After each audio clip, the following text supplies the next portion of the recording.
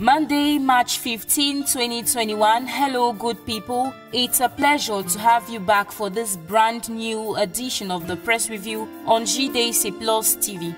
Newspapers published today carry a good number of stories, amongst which Sisiku Ayuk Tabe's disclosure to Jeune Afrique the Guardian Post, with which we open this edition, says the leader of the Ambazonia separatist movement, who together with nine other collaborators is currently serving a life sentence at the Yaoundé Kondengui prison, told the international news magazine that they are in talks with the government to seek solutions to the Anglophone crisis. The story continues on page 3.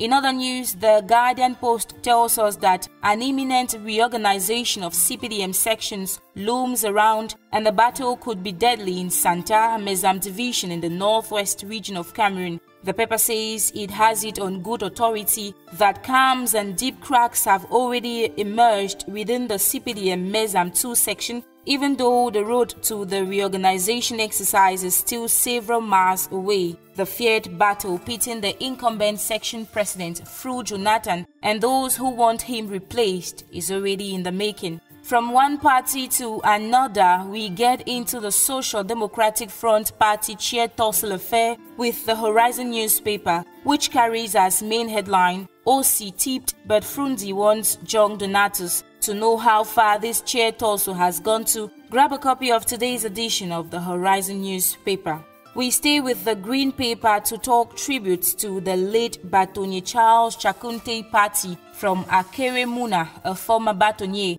The former who died on October 4, 2020 in France was buried over the weekend in his native Ndé Division in the West region.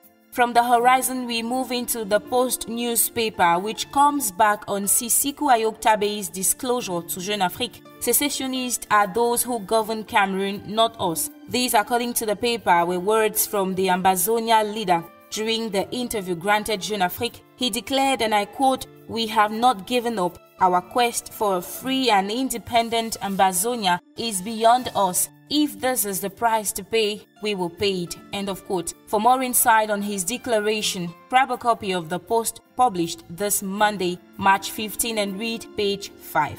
Still with the post, get to know the opinion of Honorable Tomaino Njoya, interim national president of the Cameroon Democratic Union CDU and mayor of Fumban on the reasons behind the crisis rocking the two English-speaking regions in Cameroon. According to her, the crisis was caused by the violation of the terms of the Fumban Conference in 1961. The politician was speaking as guest on the program La Vérité en Face over Equinox TV recently. Page 12 has more for you.